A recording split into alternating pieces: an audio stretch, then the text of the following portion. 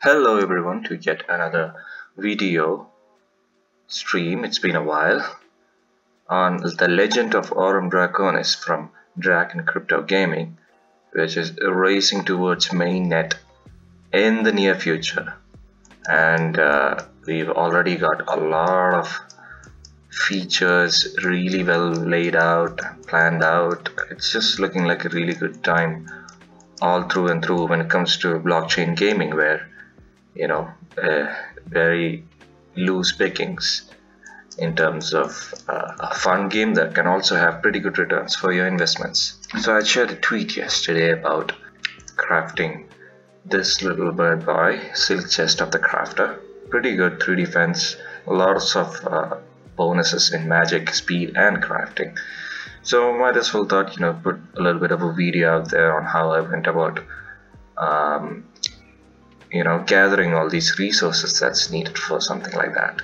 So first things first you need to have crafting required at least 10 and I do have a level 7 of mine a hero who actually has 15 crafting. So we are covered in that department. Now we only need to try and gather about let's see what it says 10 gem shards and 10 cloth. So cloth I already have from all of my gathering from battling enemies on the plains.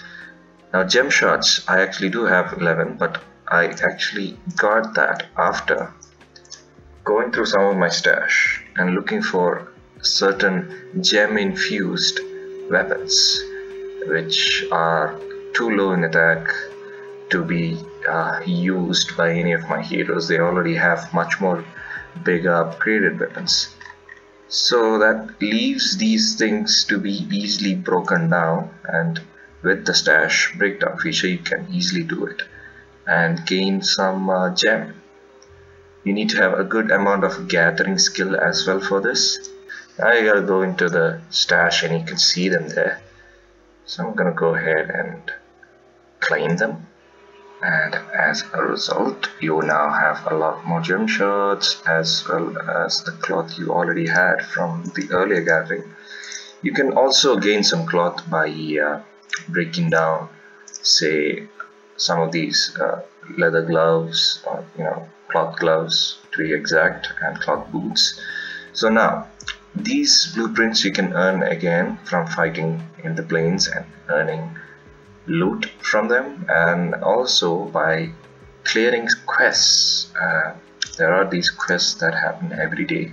Keep a track of these uh, quests for each character and slay those specific enemies and make sure the last hit is being done by the character who has the quest so that it uh, comes into their count for that particular enemy and you end up getting these rewards some chests and stuff where you'll find some really nice loot.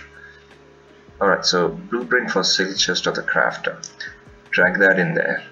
Of course you need DCAR to be able to craft which is where all the DCAR you earn from all the battles in the plains will come in handy.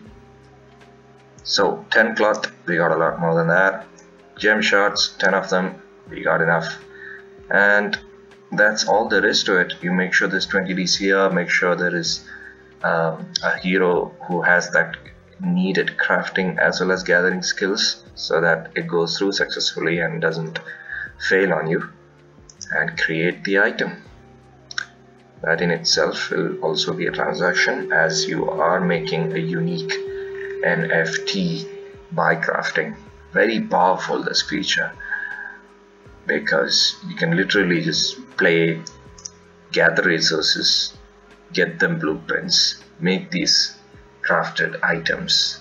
And there you have it like congratulations is in order because I've just got another success of the crafter pretty sure these are going to be really good in the earlier levels for heroes.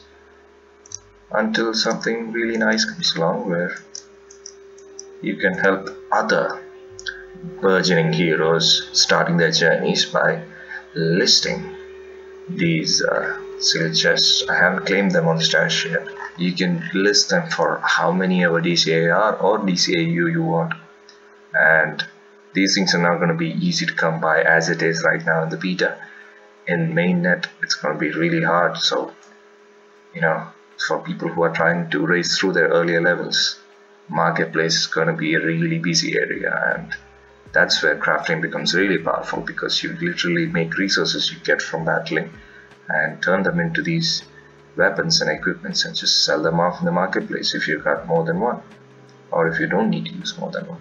As you can see it's in my stash so it can be claimed and brought right into your kitty and equipped by any of these heroes and uh, have them on their way so thanks for watching this quick little tutorial kind of if you want to call it but more like information on how crafting works and how easy and seamless it is really and how it uh, has lots of combinations and uh, consequences when it comes to how you earn how your hero's journey goes as well as uh, making use of the in-game economy. So that's about it for this one.